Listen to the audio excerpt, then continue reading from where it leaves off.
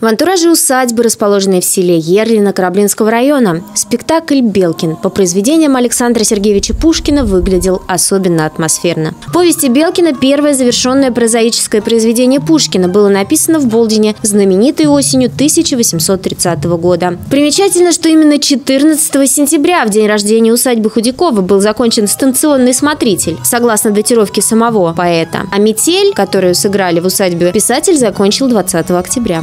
С точки зрения вот именно проекта «Театр в усадьбах», вот это, конечно, какая-то такая совершенно потрясающая вещь, потрясающая идея, потому что любая усадьба, она имеет и свою историю, да, и какую-то такую локализованную намоленность, если так можно сказать, именно культурную намоленность. И слияние, да, пушкинского текста, и вот этой потрясающей природы, и того, что, собственно, это и то, и то часть культурного наследия нашей страны, оно, безусловно, обогащает и труппу, и, я надеюсь, дарит какое-то что-то новое, интересное зрителям, приятное. Природа, атмосфера старинного паркового ансамбля, ансамбля, музыка 19 века, костюмы и актерская игра. Все это сделало спектакль неповторимым. Очевидно, что такие проекты необходимы. Они поддерживают интерес к прошлому, формируют трепетное и уважительное отношение к истории предков, среди наследия которых мы находимся и видим воочию результаты их трудов.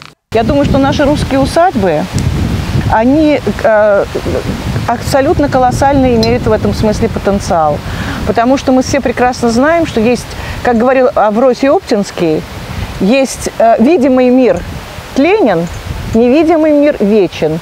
И вот эта э, нетленная вечность, она, безусловно, присутствует, когда человек настраивается на нее и когда он готов вступать с ней, с ней в диалог. Подобные проекты связывают прошлое, настоящее и будущее, историю, традицию и культуру своего народа. Ощущая свою причастность к истории, мы тем самым заботимся о сохранении всего, что дорого народу.